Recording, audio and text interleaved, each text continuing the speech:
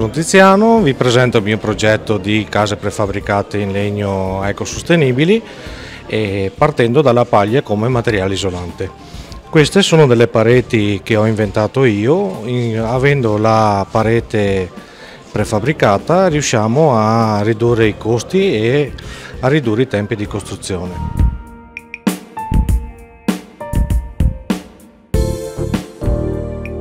Parete viene fatta con un cappotto esterno in eh, lana di roccia, una struttura portante integrata all'interno della parete, una coibentazione all'interno in paglia pressata ad alta densità e un cappotto interno sempre in paglia per mantenere il più possibile l'ecosostenibilità della parete.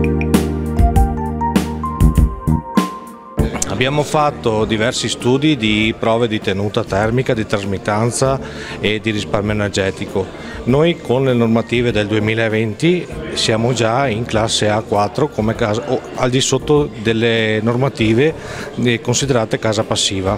Noi con le nostre pareti siamo a trasmittanze di 0,09 e eh, un consumo energetico di circa 3 kW per metro quadro all'anno con eh, la tipologia di legno che utilizziamo, con la densità della paglia che andiamo ad utilizzare e con gli spessori importanti da 56 cm siamo arrivati appunto a una classificazione energetica al di sotto delle, delle normative e dei parametri considerati di casa passiva che sono dai 5 ai 7 kW per metro quadro all'anno.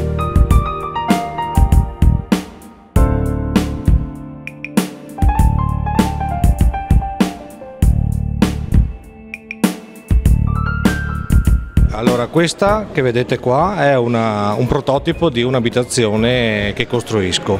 E è fatta con le pareti prefabbricate che vengono costruite a magazzino e poi trasportate in cantiere direttamente dal cliente. Questa è l'abitazione tipo con eh, tutte le varie finiture che andiamo a fare, dai serramenti alle porte interne, ai pavimenti, alla domotica, sia nella parte idraulica che nella parte elettrica e, e l'impianto fotovoltaico con eh, la VMC e ricambio d'aria. Questa è una nostra casa tipo le pareti che abbiamo costruito sono state costruite per avere sempre un eh, ambiente salubre e ecosostenibile al 100%. Non abbiamo utilizzato eh, materiali con rilasci di formaldeide, con rilasci di sostanze volatili inquinanti, ma abbiamo fatto proprio una ricerca riguardo i, tipi di materiali da utilizzare. Siamo partiti dalla paglia che è un materiale di scarto dell'agricoltura nostra locale e quindi a chilometro zero per utilizzare al meglio il prodotto l'abbiamo eh, ricercato proprio nel nostro territorio del Polesine. In più utilizziamo il legno che è un materiale naturale, dopodiché anche la costruzione della casa viene fatta tutta quanta completamente a secco senza parti in cemento. L'unica parte in cemento che viene fatta è la platea, ma una volta completata anche quella viene rivestita in legno e paglia. Se volete ulteriori informazioni potete trovarci tutti i giorni su appuntamento eh, in via Romea 12 A a Porto Viro. Buonasera a tutti, sono Molena Gianluca dalla Suberite System di Codega di Sant'Urbano.